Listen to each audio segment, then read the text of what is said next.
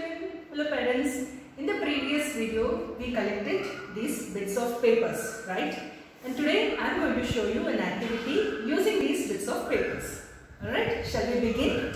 Now, the papers, okay, you have to take these papers and you have to crumble it the way I am doing it. Okay? This way. You're going to take the papers. Alright?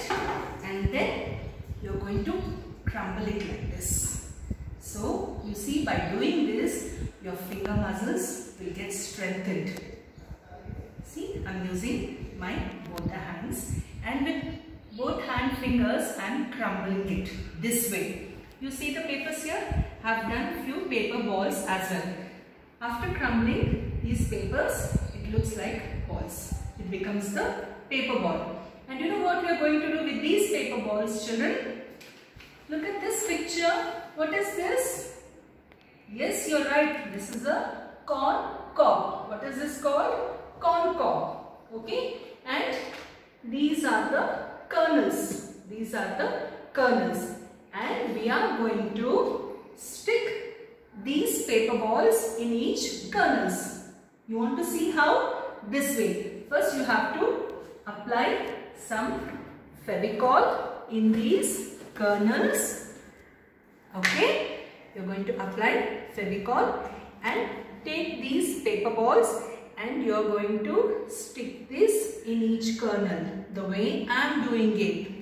So, one paper ball goes to each kernel this way.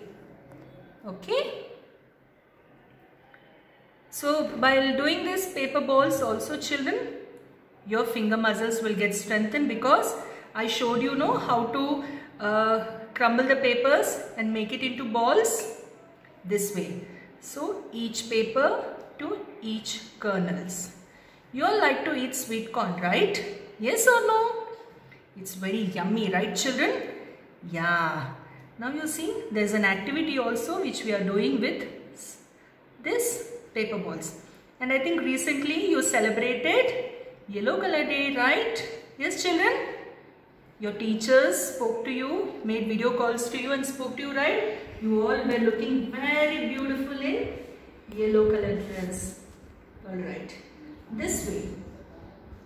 Okay? Fine. Now you see this?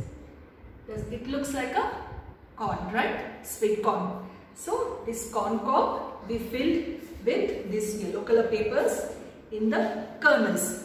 And now this activity is ready. Yes children? Alright, so what are the activities we did? Tell me. We did scribbling activity and then we did paper tearing activity and we picked up all the papers from the floor by singing a rhyme and finally with all these bits of papers we made paper balls. The way I did it, you have to use your finger muscles. With fingers you have to press it, right?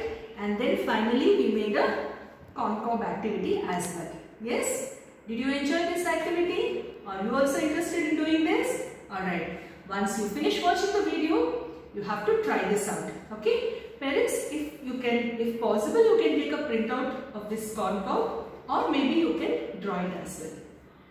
In the next class, we are going to discuss some more activities. Till such time, take care. Bye-bye.